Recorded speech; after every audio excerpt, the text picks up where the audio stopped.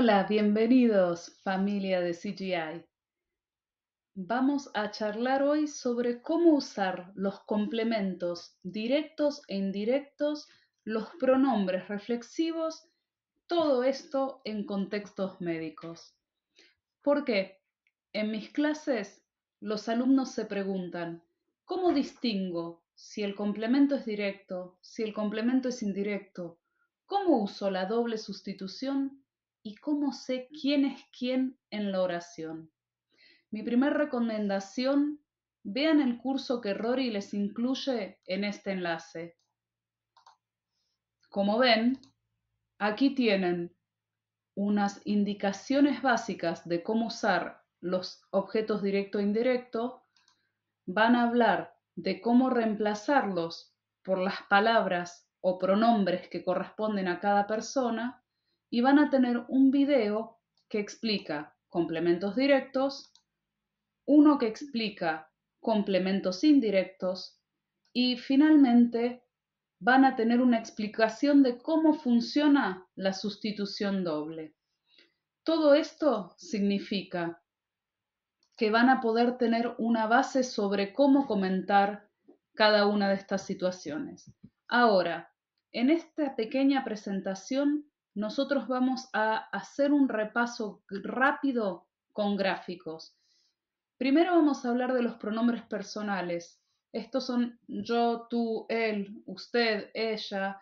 Estas son todas palabras en singular y después tenemos los plurales. Como ven, en este cuadro podemos ver que a cada uno de los pronombres personales les corresponde un preposicional y ese nos va a dar la indicación de cuál va a ser el pronombre de objeto directo y el pronombre de objeto indirecto. Por las dudas les recuerdo, objeto directo es lo mismo que complemento directo, objeto indirecto es lo mismo que complemento indirecto. Con tú vas a usar a ti, con usted vas a usar lo y la, dependiendo de si se trata de una palabra femenina o de una palabra masculina, y vas a usarle cuando vamos al objeto indirecto. Lo mismo pasa cuando vas con él o ella, entonces vas a ir con lo si es masculino, con la si es femenino y con le si es cualquiera de los dos en objeto indirecto. Con el objeto directo e indirecto, cuando pasamos a los plurales, van a ver que también tenemos correspondencia. Nosotros corresponde con nos, ustedes van a tener los y las, el plural de usted, y con ellos y con ellas también van a tener los plurales de la misma forma que funcionaba en los singulares. Ahora vamos a ver unos ejemplos. Los asociados médicos que quieren hablar español buscan un curso en CGI. Cuando lo encuentran, se deciden a empezar rápidamente. Las clases son todas las semanas. La semana pasada, la profesora nos dio más tarea que nunca. Nos pidió que nos levantemos de la silla para bailar una cumbia. Una estudiante la miró y le dijo, ¿qué le pasa? Y la profe dijo, es una broma, feliz día de los inocentes. En estas oraciones, las del principio, Podemos ver los complementos en acción y los reflexivos también. Cuando lo encuentran, se deciden a empezar rápidamente. ¿Qué encuentran? El curso. ¿Quién se decide? Los asociados médicos. En la segunda oración del segundo párrafo pueden ver nos pidió que nos levantemos. La oración anterior nos habla de la profesora y de nosotros, los alumnos de MMS. Cuando la oración usa nos, sabemos que se refiere a nosotros, los que estamos contando esta historia. Pero cuando el estudiante dijo, ¿qué le pasa? No sabemos a quién se refiere solo por ver la palabra le, porque podría ser usted, él o ella. Pero el contexto sí nos lo dice.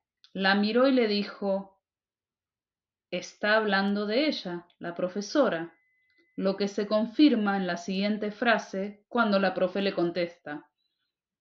Usamos claves de contexto y de relación, viendo quién habla con quién y de qué están hablando. Recuerden, para saber si el objeto es directo o indirecto, vamos a preguntarle a la oración ¿qué? Y la respuesta es un objeto directo, o quién, a quién, para quién, y la respuesta nos va a dar el objeto indirecto. Y también tenemos que recordar que si hay dos objetos combinados, vamos a ver la sustitución doble, es decir, se más le, porque nunca usamos le más le, sino esta forma para no duplicar palabras en español. Ahora, miren atentamente a esta diapositiva y van a ver que tenemos varias palabras que están subrayadas, marcadas, para que ustedes las miren y piensen, ¿se trata de un objeto directo o se trata de un objeto indirecto? Pausen el video, tómense un momento y pregúntenle a las frases, pregúntenle a la oración, ¿qué? Para saber si es objeto indirecto o quién, a quién y para quién para saber si es objeto indirecto. Después avanzamos con el video y seguimos viendo más ejemplos. señor López, el estudio ha confirmado que Tito tiene streptococo, así que tiene que darle un antibiótico cada ocho horas por diez días. No deje de dárselo si le baja la fiebre y si se siente mejor. Él necesita completar toda la dosis para curarse completamente. Tome las instrucciones, por favor. Sí, tómelas. Están aquí. Y tú, Tito, puedes elegir tres stickers hoy, los que más te gusten. Muchas gracias. ¿Solo me vas a dar tres? Fíjense en este relato. Sonia habla con el papá de Tito usando usted y con Tito usando tú. Por eso, cuando le da indicaciones al papá sobre lo que Tito necesita, le dice tiene que darle. ¿A quién? A Tito. No deje de dárselo. ¿Qué? el antibiótico? ¿A quién? A Tito. ¿Qué tiene que tomar el papá López cuando Sonia le dice tómelas? Correcto, las instrucciones. Sonia usa el sufijo las.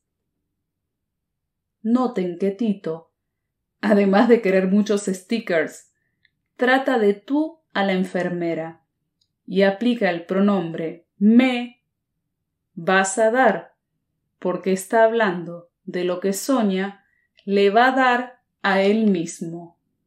A mí me das. Bueno, Tito, sé que te duele la garganta. Tu papá va a darte un medicamento que te va a hacer sentir mejor. Yo quiero sentirme mejor ahora mismo. Vas a tener que ser paciente, pero en un par de días vas a sentirte mejor. Yo voy a hacerte mi famosa sopa de pollo. Vas a ver qué bien que nos hace a todos en casa tomarla. Que le vaya bien, doña Sonia. Aquí vemos varias personas y varios pronombres en juego. Sonia le dice a Tito, sé que te duele la garganta, porque lo trata de tú. Tu papá va a darte un medicamento que te va a hacer sentir mejor. Sonia le dice todo directamente a Tito. Tito habla de sí mismo quiero sentirme. Y después el papá habla, primero con Tito y luego con la enfermera. Te voy a hacer la sopa a ti, nos hace bien a todos nosotros en casa, que le vaya bien tratando de usted a la enfermera.